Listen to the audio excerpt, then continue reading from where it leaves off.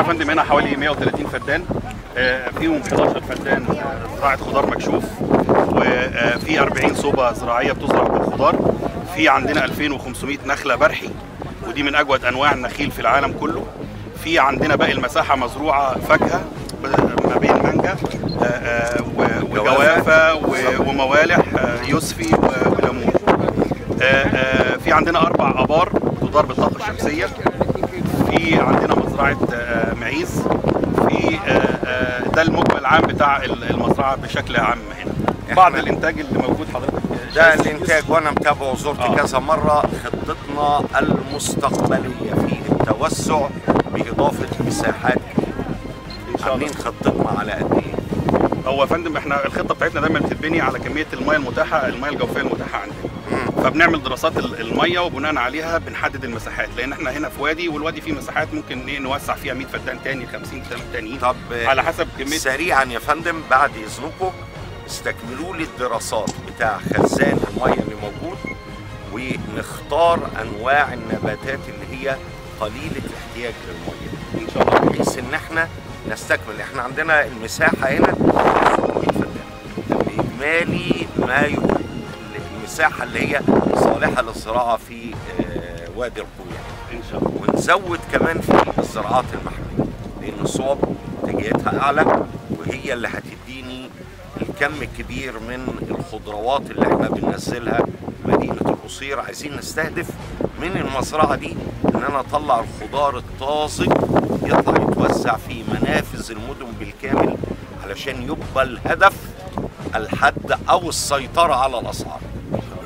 ده اللي هيخلينا نطرح منتج مش كده يا ربيع؟ بالظبط يا فندم. بنص سعره نقوم نعمل إيه؟